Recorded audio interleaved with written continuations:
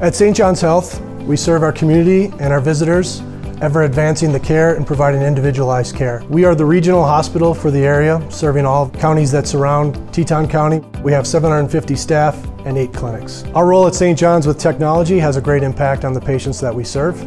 We are able to leverage our VMware technologies to provide the base platform to provide the services our patients need, whether that's access to our in-home monitoring and wearables, to all the services that they need from a billing and revenue cycle standpoint.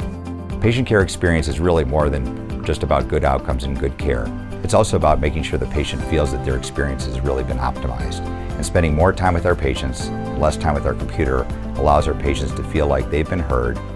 Our patients are getting older and more complex, and with that comes the need for a large amount of information to be transferred in a short period of time. I can tap in and tap out and share the same information across the same platform to optimize patient care. VMware allows the physicians and other providers to be successful in caring for these very complicated patients.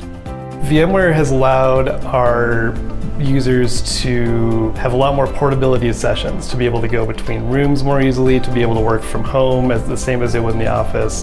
Horizon has made a huge difference at St. John's with the addition of Workspace ONE, single point entry a one-stop shop as we like to call it.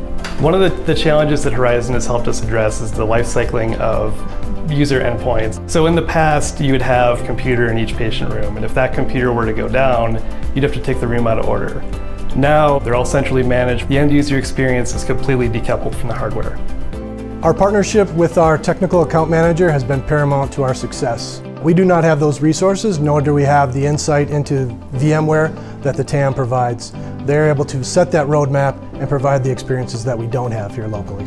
Working with our TAM, we recently realized a 138% decrease in our VDI login times, allowing our staff to focus and get efficient access to our patient data.